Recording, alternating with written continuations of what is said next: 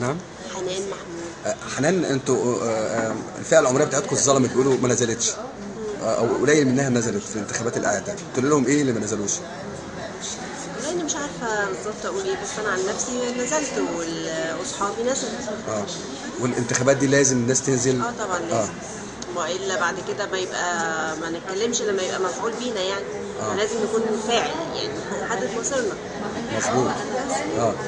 اولا آه كبار السن أبهروا العالم بنزولهم.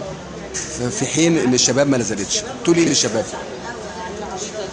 أقول بقى ما يقعدوش بقى يتكلموا كلام منهم انهم يعملوا حاجة ما بيعملوش. قاعدين على الفيسبوك بس يتكلموا يعملوا يشجبوا ينتقدوا يعملوا طب انزل اعمل انت. مش عاجبك اللي بيتعمل انزل انت اعمل. مصر عمرها ما تتبنى إلا بسواعد أبنائها. طبعا. مظبوط؟ آه آه، رسالة للناس آه، مواطنين سكندريين تقول لهم إيه؟ إحنا نحدد مصيرنا بنفسنا يعني. إن إحنا يعني شعب واعي إنه يعمل